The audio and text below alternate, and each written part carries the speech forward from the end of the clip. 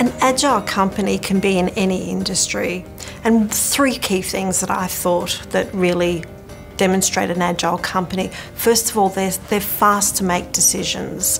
They really, they've got a finger on the pulse. Secondly, they're incredibly lean. So there's not layers and layers that you've got to work through to get a decision out. And I think thirdly, and most importantly, is they know what their customers want. They're customer focused. It really is a mindset that's got to be throughout the entire company.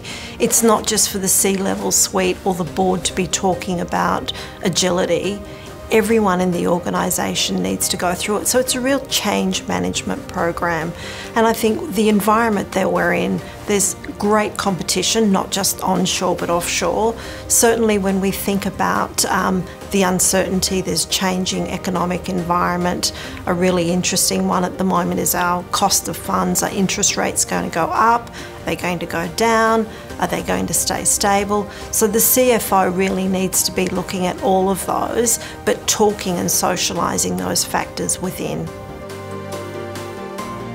I would say CFOs absolutely need to be agile. They've got to have the technical skills, so they need to know what the numbers are telling them. But they also need to cast a broader net.